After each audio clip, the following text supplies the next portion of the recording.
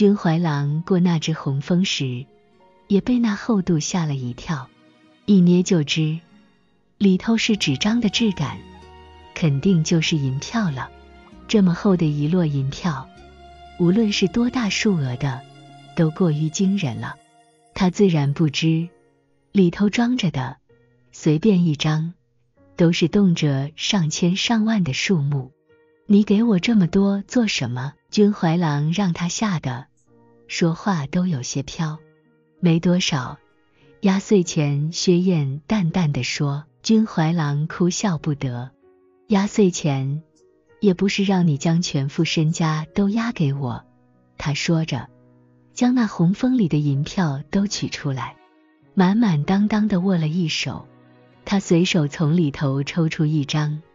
连层红包一并收下，就把其他的都塞到了薛燕手上。薛燕不接，不是全副身家，我还有。他说他这倒没说谎。燕王无妻无子，自从前两年他能带兵了，燕王就连带住司库钥匙也交给了他。燕晋要养兵养人，自然也不缺钱。待燕王去世。燕地的金银也都是他的了，但是燕云铁骑需要发饷，带回来的死士也要养活，所以薛燕手头真能让他拿来花的钱不多，也只能拿出这些了。他回到宫中，只有钱是他随身带来的。他想给君怀郎还一个礼物，报答他送给自己的那只玉锦鲤。也只有这点钱是他拿得出手的。君怀郎哭笑不得，就把那一摞银票给进宝。进宝虽说肉疼，可哪里敢接？他连忙将手背过身去，直往后躲，恨不得自己打娘胎里就没生出过这两只手。君怀郎只好威胁他：“你再不接，我可就生气了。”他说道：“我给你红封。”不过是个讨吉利的心意，你又付给我这么多钱，将我当做什么了？薛燕听到他这话，难得的有些慌。他自然不是付给君怀郎钱，他只是觉得给多少都嫌少，就钱粹把自己能拿出来的都给他。反正自己在宫中，并没有用钱的地方，他也向来不把这物放在心上。他只觉此物轻贱，一时又拿不出别的来，只好多给些而已。君怀郎见他神色难得的失措，心下有些不忍，却仍板住脸，借着机会将银票塞回了薛燕手上。也恰在这时，他一垂眼，看见了自己手中那张银票的数额五千两，君怀郎都有些绷不住了。面上露出些许笑意，他知道薛燕手头不缺钱，毕竟他是燕王膝下唯一的孩子，前世又能轻易收编已经归属雁门关守军的燕云铁骑，想来是财力雄厚的。但他没想到这人竟这么实诚，随随便便就将自己家底掏出这么多，只为了给人做压岁钱。也不知若前年后的秦王殿下，知不知道自己还有这么单纯的时候？君怀郎忍住笑，从薛燕手里那一大叠银票中勉强换出一张面额小一些的，就足够了。你给我再多，心意都是一样的。君怀郎收下红包后，劝说薛燕道：“薛燕默默的想，怎么能一样呢？”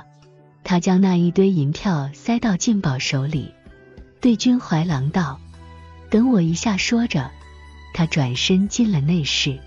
进宝站在原地，将银票囫囵收起来，尴尬的对君怀郎笑了笑，解释道：“主子没收过压岁钱，想必是不懂个中的规矩。”让殿下您见笑了。君怀郎笑着摇了摇头，怎么能说是见笑呢？这与懂不懂规矩无关。无论懂规矩还是不懂规矩，也少有人能这般一片赤诚，像是将整颗心都掏出来与人看似的。君怀郎甚至一时间觉得自己亏待了薛燕，自己不过是因助同情，又为了保护家人，才与薛燕相交，不过举手之劳罢了。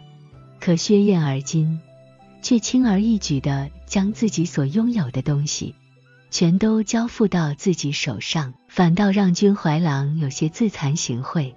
那边，不过片刻，薛燕便回来了。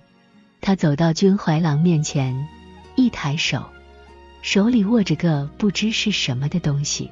伸手，他听薛燕说道：“君怀郎伸出手来，就有一个小物落在了他的手心里。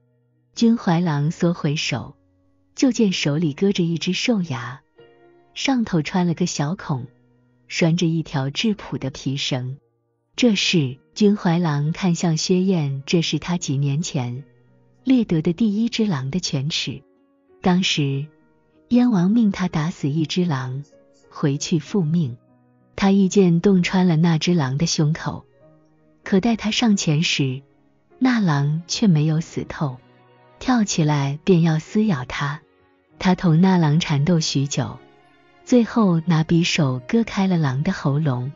他满脸血的将狼一路拖回大营，得了燕王的嘉奖。他摘下一只狼牙，交给薛燕，让他时刻保管着。今日让你杀狼，待你成人之后，还有更多更凶猛的猎物要死在你的刃下。燕王说：“你留好这颗牙，只记得，无论多么凶残的对手，只要你以命相搏，都敌不过你。从那之后，他向来随身带着。这与其说是个纪念。”不如说是薛燕的一个念想。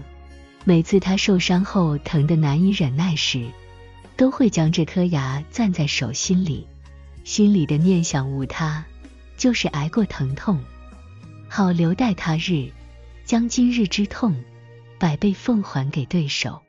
他也不知道自己为什么要将这物件交到君怀郎的手上，或许只是因为，除了那些银票。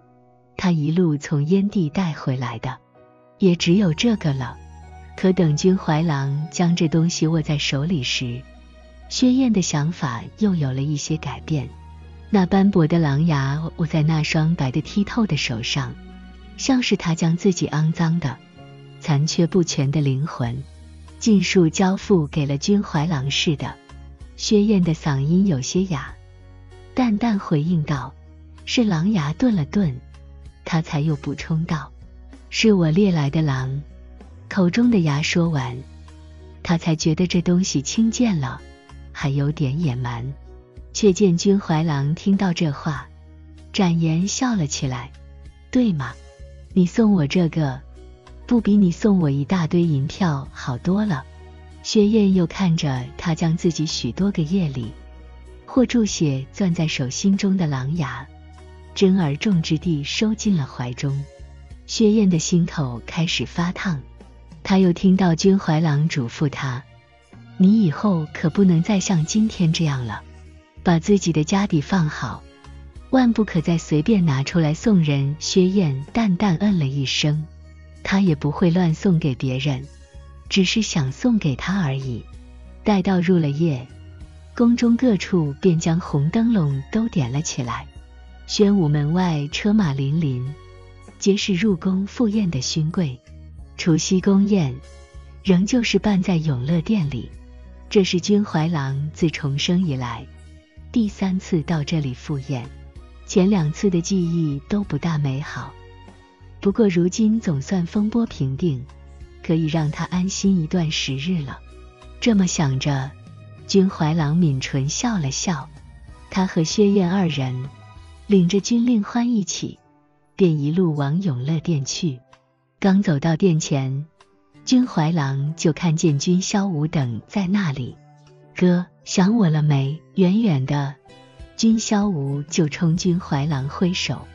看到他，君怀郎也不由自主的笑了起来。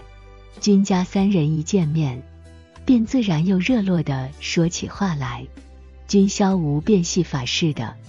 一个接一个的拿出红包塞给君令欢，还不忘笑嘻嘻的给君怀郎塞一个。哥，压岁钱。君萧无冲着君怀郎嘿嘿直笑，君怀郎但笑住训他：“胡闹，哪有你给我塞红包的？”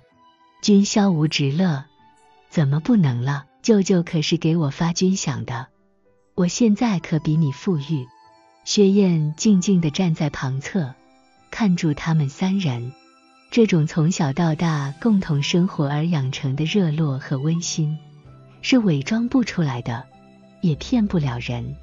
薛燕清楚的知道，这是君怀郎的嫡亲弟弟，他们二人热络是理所应当。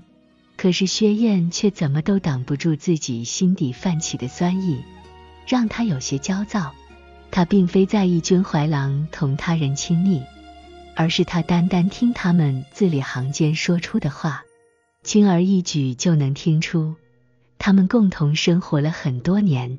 他想和对方一样，也能与君怀郎有这种存续多年的关系，但同时，他好像又不太想霍君萧无一样，仅仅是兄弟而已，似乎不够亲密，不够独特。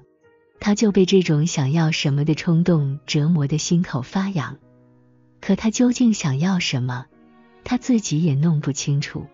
就在这时，他听到君萧无问道：“母亲专门让我问你呢，问你什么时候家去？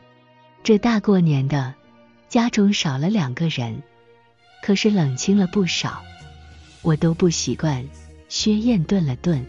目光不动声色地落到了君怀郎的脸上，他竟都忘了，他连霍君怀郎长期共同生活都做不到，对方不过只是短暂的借宿罢了。君怀郎却并没注意到薛燕变化的情绪，他闻言笑起来，抬手拍了拍君萧无的脑门，不习惯还在玉门关一待就是三年，想来是军中热闹。乐不思蜀了。君萧无捂住脑门直笑。君怀郎又说：“姑母问过我，还是想让我多住些时日，我便要等开了春，才能回得去了。”君萧无点头：“也好，等到了春天，我带你上郊外骑马踏青去。”君怀郎笑着点了点头。眼看着时辰晚了，君怀郎便喊住君萧无先进去。君萧无把君怀郎身侧的君令欢扒拉到怀里，说道：“行，我去找趟娘，把令欢带去。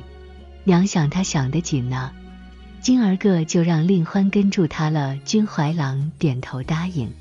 待君萧无带着君令欢走后，君怀郎回过身来，就见薛燕站在那儿出神，不知在想什么。五殿下。君怀郎喊了他一声，薛燕淡淡应道：“嗯，进去嘛。”君怀郎笑着点了点头，同他并肩而行。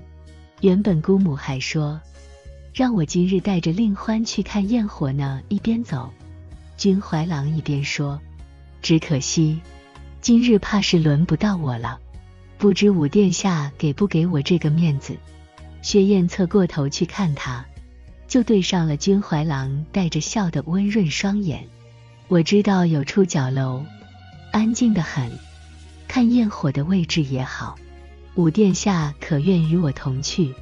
薛燕转开了目光，淡淡点了点头。他方才脑中千回百转搞不清楚的情绪，好像只跟君怀郎对视了一眼，就让他隐约察觉自己想要的是什么了。眼前人是天上星，他仰望住，碰不到，却想要将这颗星永远的留在身边，即便现在那颗星只是短暂的从他头顶划过而已。